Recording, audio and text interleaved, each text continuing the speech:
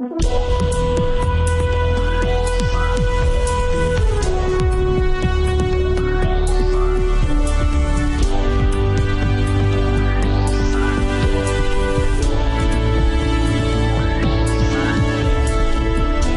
to Real Money Talks how to make money, manage money, and invest money.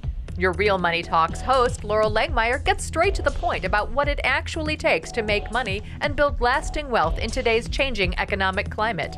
If you're ready to get the financial results you've always dreamed of, keep listening.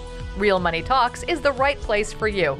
And now here's your host, Loral Langemeier. Hi, this is Loral. Welcome back to Loral's Real Money Talks. And again, I have my dear friend Adam with me. He's a brilliant marketer. And we're in Calgary, and he's going to talk to you today about marketing. So, Adam, welcome back. Thanks, Loral. I appreciate it. Today, I, really wanted to talk about the four questions that every business owner should ask before making any decision. The first question is Is this going to make me money? So, is it going to make you money? Is it going to save you money? Is it retain a client? Is what I'm about to do going to make me money?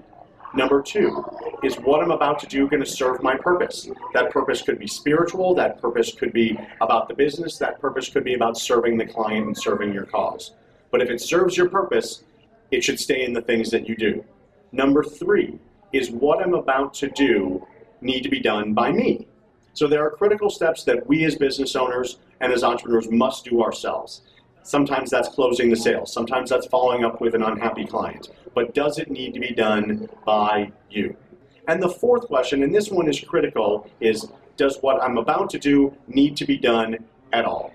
There's a number of things that you don't have to do that you might delegate, but does it add any value to your business? Does it validate any, does it give any value to your client? There are things we do every day that doesn't, and those don't need to be done at all. Once those are gone, now you just created capacity for yourself and for your team. So the four questions again. Is this going to make me money? Is this going to serve this my purpose? Does this need to be done by me? And fourth, does this need to be done at all? If you ask yourself those four questions, you'll have more sales success, more business success, and way more capacity to continue to help your clients and build your business. Adam, thanks for that information. And for any of you that want a free consultation, talk to him. You can hire him to help you get all this done. Go to askloral.com, put in your name, your phone number, your email, and then ask a specific question. What do you want to know from Adam? We'll pass on your information. Our goal is to help you make more money.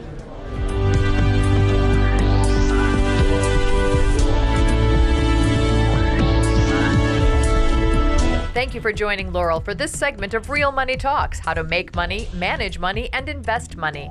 To continue this new conversation and to find free resources to support your wealth creation, visit askloral.com forward slash podcast gifts.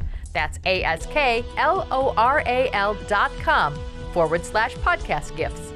Thanks for listening and join us again soon. New episodes are released every week.